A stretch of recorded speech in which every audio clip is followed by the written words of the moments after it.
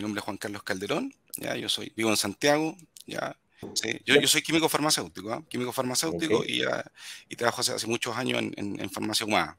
Mira, mira, es bien curioso porque, porque como te digo, con este tema de lo, lo, que ocurrió en estos años atrás, empecé a llegar un poquito más temprano a la casa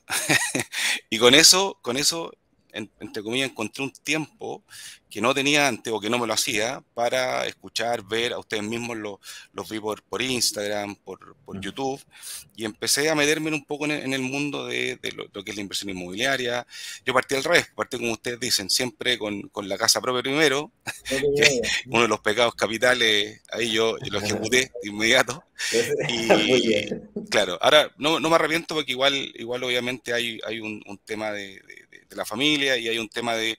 que uno se invirtió hace unos años atrás, claramente hoy día la propiedad vale, vale, vale más, vale más. O sea, no, yo, yo diría, yo diría que, que básicamente empecé a revisar y ver eh, lo que ustedes siempre hablan, pues zonas emergentes o, de, plusvalía que se proyectan en el tiempo con una, una plusvalía que te da, te da una parte de la, de la, rentabilidad y lo que tú vas a ir pagando el pie o, bajando este costo del,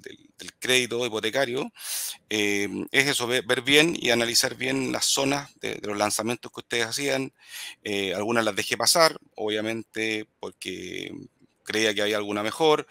pero finalmente hoy día estoy bien contento con la, decisión que tomé. Em, yo invertí ahí en, em, el centro urbano de La Florida, ya en la de Inmobiliaria Pilares, que, se va a entregar eh, en, dos años y medio más probablemente. y, como digo bien, porque es un sector que conozco, es un sector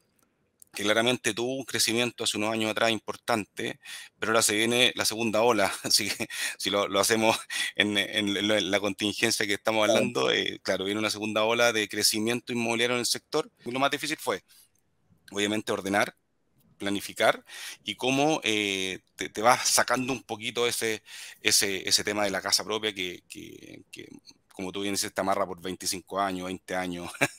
Y 30 ¿Ah? años también. Sí, y 30 años también, aunque, aunque ahí, como ustedes siempre lo dicen también, el, el, mientras más joven,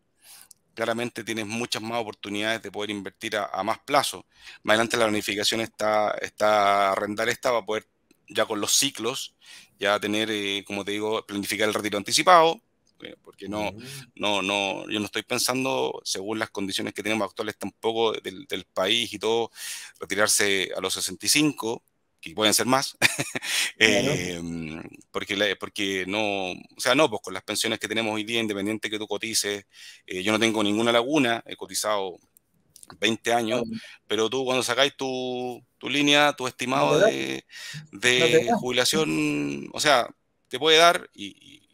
doy gracias porque soy afortunado al punto de vista que es bastante más de lo que son las pensiones mínimas, pero, pero claramente no, no te da, pues, o sea, no, te da solo de eso. No, obviamente que, que estudien, que se informen, que, que vean, la, que vean los las clases, que insisto, son gratis. no, uno, uno, cuando se va a analizar cuántas cosas son gratis, eh, si uno no sabe buscar, no hay tantas cosas gratis. Siempre te, siempre te van a cobrar. Eh, y acá eh, ustedes siempre son súper transparentes desde el punto de vista de, dónde ustedes ganan, ya cuál es, cuál es el negocio de, brokers digitales